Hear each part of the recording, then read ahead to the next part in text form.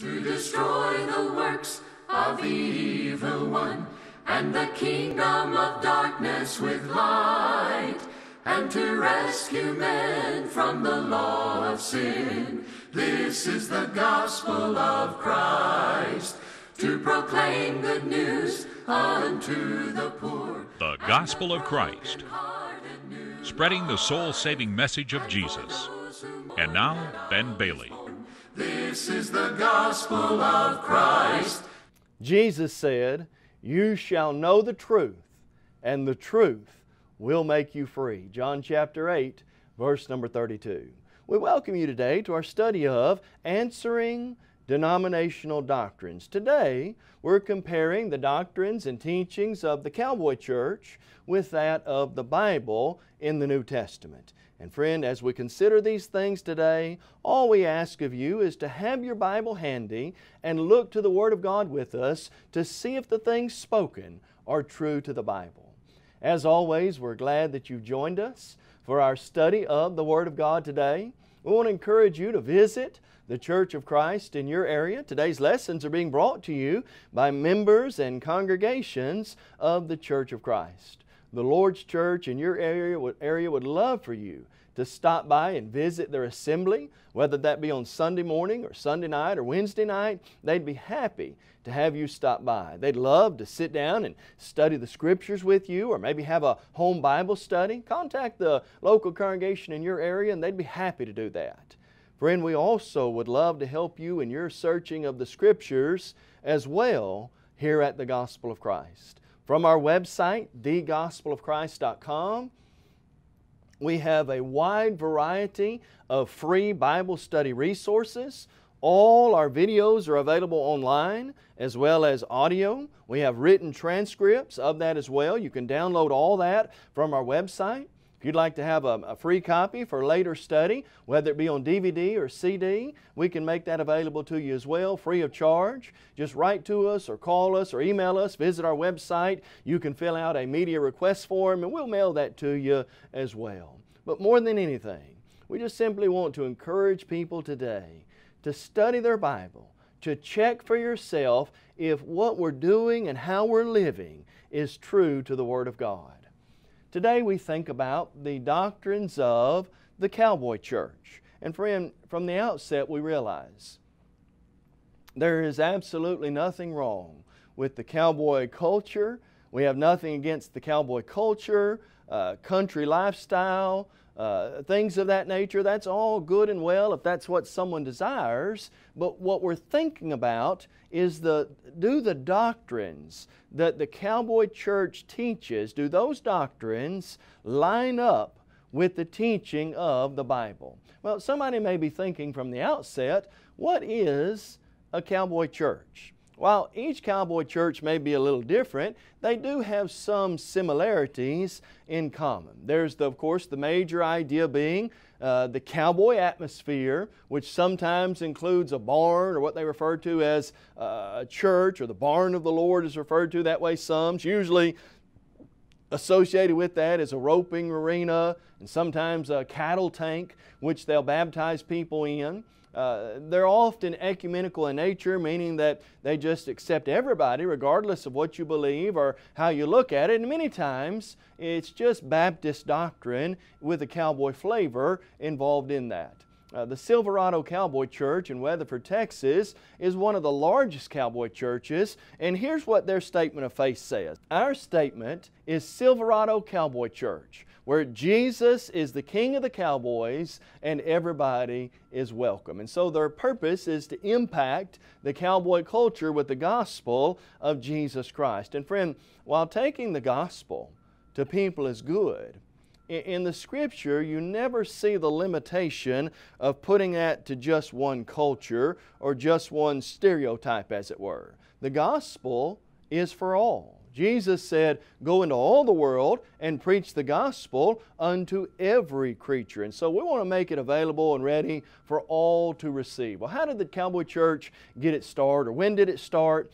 Most would trace the roots of it to the 1980s, early 90s, where it got its start either in Nashville, Tennessee or Fort Worth, Texas. It was started by various leaders, some of them being in the country music uh, area as well. There are two possible founders of the Cowboy Church, either Johnny Cash's sister, Joanne Yates Cash, who's also supposedly an ordained minister at the Nashville Cowboy Church, or Jeff and Sherry Copenhaver, who began the first Cowboy Church in Billy Bob's, Texas, in the bull riding arena in January 1986. Now, we say these things for this purpose. Friend, when did the church that you read about in the Bible start? Is the Cowboy Church the church you read about in the Bible? When did the church that Jesus built start? Well, friend, it didn't start in 1980 or early 1990s. The church Jesus began started in Acts chapter 2 on the day of Pentecost, thousands of years before the Cowboy Church started. Well, who started the church that you read about in the Bible? Well, Jesus did. Not some country music singer, or not some kinfolk of some country music singer, or somebody who was big in the cowboy culture. Jesus started His church. Jesus said, I will build my church. Matthew 16, 18. The Lord added people to His church in the first century in Acts chapter 2, verse number 47. And so you kind of get the idea of where this is coming from, what's behind this being started, and hopefully that'll help us to see where some of the doctrines come from as well. Let's then turn our attention and examine some of the doctrines, which is really the heart of the matter. Let's examine some of the doctrines of the cowboy church. If you were to go to a cowboy church and you were to ask the question, what must I do to be saved? Here in this cowboy church that I'm standing in right now, what do you teach on salvation? Well, friend, the doctrine of salvation in the cowboy church is very similar, if not identical, to much Baptist doctrine. They believe salvation comes through faith and faith alone. The Silverado Cowboy Church on their website says salvation of man comes only for accepting Jesus as Savior and being spiritually born again. And so, if we believe Jesus is the Son of God and give our life to Him, we can be saved. Friend, there's no doubt, listen carefully. There's no doubt in the Bible that a person must believe in Jesus. The problem is with the only. The salvation of man comes only from accepting Jesus Christ as Savior Jesus said, Unless you believe that I'm He, you'll surely die in your sins. John chapter 8, verse number 24. As Philip and the Ethiopian eunuch are traveling down the road, he's teaching him the gospel. In the distance, he sees water. Here's water. What hinders me? If you believe with all your heart, you may. Acts chapter 8, verse 36 and 37. And there's no doubt belief is essential. But is belief the only thing a person has to do to be saved? Well, no, the Bible doesn't teach that. In fact, the Bible teaches the idea of belief alone is contrary to Scriptures. Must a person, think about this with me. Does the Bible teach there's more to do than just believe? Well, let's ask what, from the Scripture what else one must do. Does the Bible say one must repent? Well, yeah, Jesus specifically said that, explicitly said. Luke chapter 13, certain people came to Jesus and they're wondering about these people who died in some great accident. They're wondering about these people who got murdered at the time of sacrifice. And they said, Lord, weren't they worse sinners than everybody else? Wasn't that you or God taking out His vengeance on them? And Jesus looked at them and said, Unless you repent, you'll all likewise perish. Peter preached, Repent and turn again, that your sins may be blotted out. And so the problem with this statement of faith on salvation is when we confine that to only. Only believe in Jesus. Only be spiritually born again. Well, no, that's not, that's not all there is one must do. In fact, I want you to listen real carefully to this idea. A lot of times I'll hear people talk about faith alone and that all you've got to do to be saved is just have faith in Jesus and we're saved at the point of belief and belief alone. Friend, did you know that the only time we find the words faith alone or faith only in the Bible, God says the exact opposite of what a lot of religious groups are teaching today? Let me say that as clearly as we know how. Many religious groups, including the Cowboy Church and various other religious groups, will say if you, all you got to do to be saved is believe in Jesus. Initially, believe in Jesus and you'll be saved. Here's what the Bible says. Listen to James chapter 2, verse number 24. You see then that a man is justified by works, here it is, and not by faith only. Now, friend, the Bible is not teaching you can earn your way to salvation. The Bible is not teaching if you say enough Hail Marys, you're going to be saved. But there are conditional works that you find throughout the Bible. There are things God says are necessary to do that I've got to do, an action I've got to take to be saved. And the Bible says you're not saved by faith only. The only time faith only occurs in the Bible, it doesn't teach what a lot of people are teaching as well. We're saved by God's grace, are we not? Ephesians 2 verse 8. We're saved by mercy. Titus 3 verse 5. We're saved in hope. Romans 5 verses 1 through 2. There's a multiplicity of things that work into salvation. And so when we limit that to only, friend, that's not God's teaching on salvation. Then, as we think about the cowboy church as well, most cowboy churches today are going to believe in the Holy Ghost baptism for people today. For example, the Nashville Cowboy Church says from its website, the baptism with the Holy Ghost is an experience subsequent to conversion, bringing spiritual power for Christian service. Meaning, when you're saved, you're going to get the Holy Ghost. You might speak in tongues, you might flail around, whatever it may be. You're going to have some kind of spiritual experience where the Holy Ghost overtakes you, as it were. Well, friend, what do the Scriptures teach about the Holy Spirit or Holy Ghost baptism? From what we find in the Scripture, there are two accounts of that. Acts chapter 2. They were baptized with the Holy Spirit. The, the Jews on Pentecost, the 12 on Pentecost, were baptized with the Holy Spirit. And in Acts chapter 10, Cornelius and his household were baptized with the Holy Spirit. It is not a regular occurrence that we see at every example of conversion. You don't find that in the Bible. And so when you think about this idea that, you know, when people are saved, they're going to get the Holy Ghost and they're going to speak in tongues or He's going to overtake them. We only find a couple of examples of that in the Scripture, and what we do know is the work of the Holy Spirit, the miraculous, where men could speak in tongues or people could raise the dead or touch somebody and heal the sick. Friend, that was designed to confirm the Word of God. Mark 16, verse 20, and that had a limited end in sight. 1 Corinthians 13, verses 8 through 10, when that which is perfect has come, that which is incomplete will be done away with. The partial will be done away with, meaning miracles, tongue speaking, miraculous knowledge. That wasn't designed to last forever by God. And so we think about these ideas as well when we consider the doctrines of the cowboy church. Here's another one that we often think about when it comes to denominational doctrine, and it's this. The cowboy church is also heavily influenced by the doctrine of divine healings, meaning as the Silverado Cowboy Church says, the gift of the Holy Spirit for today is the same as in the New Testament. The Nashville Cowboy Church says this the privilege of receiving divine healings for the body in answer to believing prayer. Now, friend, there's no doubt that Christians believe in the power of prayer. Is anyone among you sick? Let him pray. But the idea that we have the power for divine healing, again, the Bible says in 1 Corinthians 13, verses 8 through 10, that the partial would be done away with when the complete, when the complete and perfect Word of God was revealed.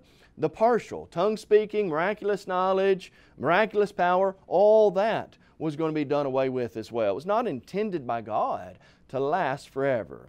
And here's what you've got to consider. If men and women have the ability and the power today to do divine healings, then why aren't we seeing what happened in the first century happening today? Why are there not people who can go out and somebody's got a withered arm and they can straighten it just like that? Why are there not dead people, people who have died, being raised from the dead? And friend, this is probably, I guess, what angers or bothers me the most about this idea is when people claim they have this power of divine healing, And yet, there are hundreds of little children sitting in St. Jude's Hospital right now suffering. And you don't see anybody over there with divine healing doing anything about that. Now, friend, we believe in the power of God in the New Testament. No doubt about that. We believe that power was given to the apostles. The Bible teaches that.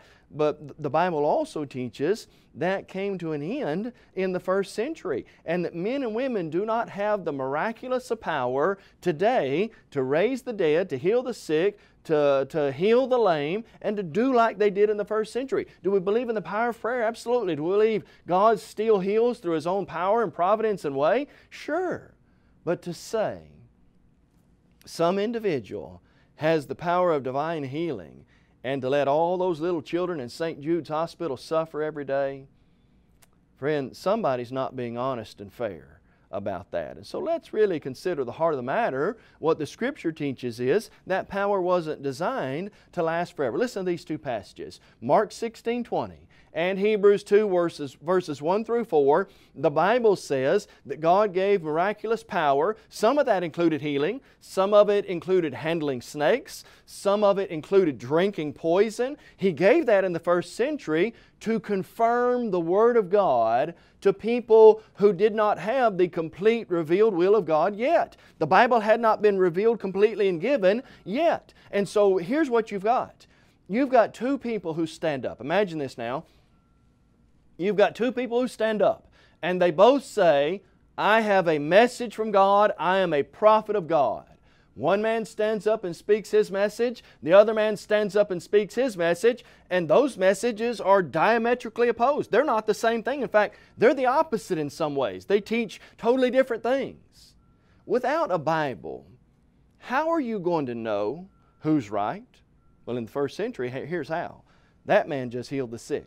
That man just uh, made the lame well. That man just raised the dead. That is God's confirmation. That's what miracles were, to confirm the Word. That's God's confirmation. This is God's spokesman. We need to listen to him. This old fellow over here, he hadn't done anything yet. We don't know about him. We're sure this is God's spokesman.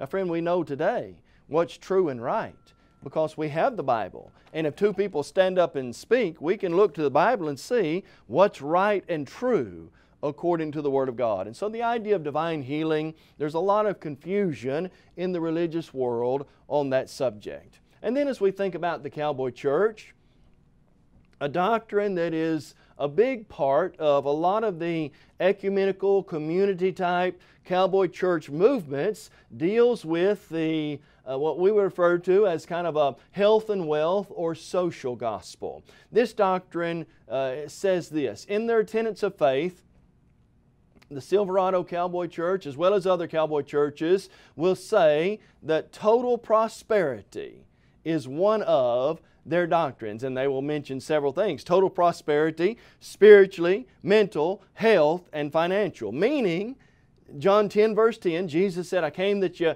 have life and have it more abundantly, and God wants to bless you abundantly spiritually, mentally, with your health, and financially. Friend, as you read the Bible and as you look at some of the great servants of God, no one was ever promised they were going to benefit or be blessed financially in that sense. No one was ever promised, God promised to take care of His own. God promised they would have a home in heaven. God promised He would never leave them for, nor forsake them. But the idea that you're going to have perfect health, hey, tell that to the Apostle Paul and the Apostle Peter. Paul, you will never have to be beaten. Forbidden. Wait a minute now. We don't find that to be in accord with the teaching of the Bible. Paul, if you become a Christian, God's going to bless your bank account. What? Where, where do we read in the Bible that by becoming a Christian, you'll hear this so much in a lot of popular community church, ecumenical type of movement. If you become a Christian, you obey the gospel, God's going to bless your pocketbook. Well, friend, that's just not true according to the Bible. God will take care of His own. If I seek first the kingdom of God, God will make sure I'm provided for. Matthew 6.33, God will meet my needs and take care of His own children. But to say that I'm somehow going to be financially wealthy or blessed, again, you just don't find that idea uh, in the Bible. And then, friend, we mention another doctrine of the cowboy church. The cowboy church has a very skewed or false view on the purpose of baptism. Of course, they believe baptism is to be done by believers only to keep the commands of God. They say, we believe after accepting Jesus as Lord and Savior, one needs to be obedient to Scripture and be water baptized. But then as they, you think about some of their doctrines and ideas, they'll teach that baptism is not essential. You've already accepted Jesus as Lord or Savior, then you need to kind of be baptized later. Much of what is taught in several Protestant religious groups as well is that baptism is not really essential to salvation. And friend, we challenge you to check this in your Bible. You check for yourself and let's see, is one saved? Does one accept Jesus as Lord and Savior, is saved, and becomes a Christian, and then is baptized later? Is that what the Bible teaches? Not at all. In fact, that idea is clearly contrary to Scripture. Listen to Jesus' words. I want to mention several passages, and I want you to listen to these, maybe write them down, and you check them in your Bible as well. Mark 16, 16.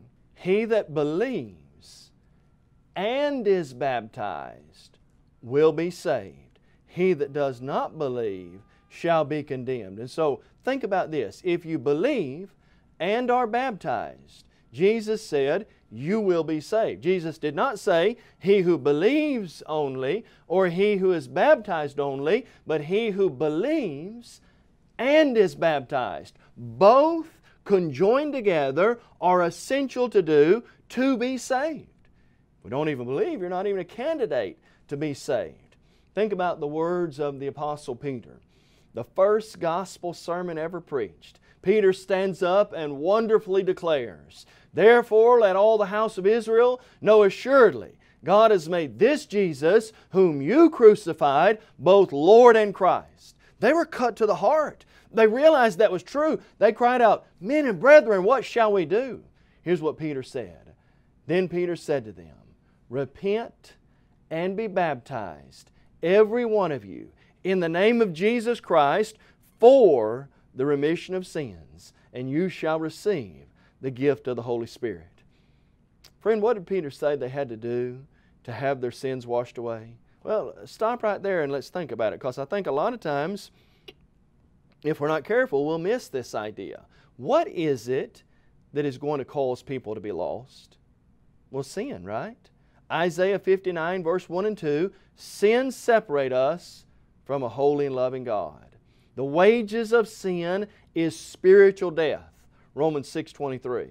Well, friend, when are sins forgiven or removed? Peter said, Repent and be baptized, every one of you, listen to the reason now, for the remission of sins. I'm saved when my sins are removed by the blood of Jesus Christ, and the Bible says that occurs at baptism. Well, let's listen to the words of Jesus on this subject. We know that Peter said this. What did Jesus say when he spoke to Nicodemus? In John chapter 3, about verses 3 through 5, Nicodemus uh, comes to our Lord. And as he's talking with Christ, Jesus is going to discuss with him about being born again. We hear a lot of people say you need to be born again spiritually. What does it mean, according to the words of Jesus, to be born again spiritually? Unless one is born again, he cannot enter the kingdom of God. You can't be in God's kingdom, can't be saved unless you're born again. Well, Lord, what do you mean? You want me to go back up? Nicodemus says, What do you mean? You want me to go back up in my mother's womb and be born a second time? And Jesus says, Unless a man is born of water and the Spirit, he cannot enter the kingdom of God. Unless one is born spiritually, born again spiritually, he cannot get into God's kingdom. What about the words of Peter? In 1 Peter chapter 3, verse number 21. You know, sometimes I hear people say, well, you know, maybe some of those Bible passages might be referencing some of the things that you're mentioning or talking about, but the Bible never says you've got to be baptized to be saved. Friend, it absolutely does. And not only does it absolutely say that, it explicitly says that.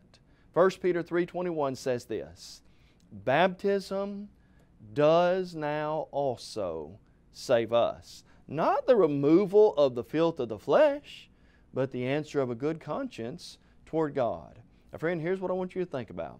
There's a lot of denominational groups, a lot of groups that are saying baptism's good. You, you, you believe in Jesus, you accept Him as Lord and Savior, you're saved. You ought to be baptized two weeks or however long later, and baptism's a great thing to do. It's good to do. We encourage you to do that. But it doesn't save. 1 Peter 3.21 says, Baptism does now also save us. Teaching of men says, baptism doesn't save. The Word of God says, baptism saves us. Now, friend, it saves because that's when we con it's the blood of Jesus that saves. Matthew 26, 28, that's when we contact the death of Jesus. Romans 6, 1 through 4, we're buried with Christ in baptism in which we contact His death. The death, the sacrifice, and the blood of Jesus atones for sin. When did God say, I contact the death of Christ? When we're buried with Him in baptism. That's what Romans 6, verses 1 through 4 says. And so, friend, we challenge you today to check your Bible. Get your Bible out, check these things, see if they're true. If you're involved in a religious group, maybe like the Cowboy Church, that is teaching things that are not found in the Bible, and, and there are a multitude of others that we might could mention, but are teaching things that are not found in the Bible. Friend, we just ask you to see if these things are true. Check them in your Bible for yourself. If they're true, don't obey it because we said, do it because that's what God says in the Bible, and then you can be sure that you're right with God. Study the Bible for yourself. 2 Timothy 2, verse 15. Search the Scriptures every day and, and see if these things are true, and then do it because Jesus said, when you obey the truth, the truth will make you free. And as always, Friend, we want you to know that God loves you, that we love you, that we're concerned about your soul, and that more than anything else, we want you to go to heaven. It is the gospel of Christ that is able to save all men from their sins, Romans 1, Romans 1.16, and we encourage people today to obey that gospel, to live by it, and to look forward to that home in heaven with God. You may have just joined our program and are wondering, what is the Gospel of Christ? The Gospel of Christ is an evangelistic work of the churches of Christ that reaches the whole world with the gospel through TV, radio, and internet. Our motto is to take the whole gospel to the whole world. We believe in having a book, chapter, and verse for everything we say and do. And unlike many religious groups today, we're concerned about lost souls, not your wallet. This is the gospel of Christ. We encourage you to visit thegospelofchrist.com for a host of Bible study material, as well as audio and video copies of our lessons. If you would like to have a copy of today's lesson, please visit our website and fill out a media request form. Or you can email us at mail at thegospelofchrist.com. Call us toll free at 1 855 458 3905 or write to us at P.O. Box 788, McMinnville, Tennessee 37111. Gospel of Christ.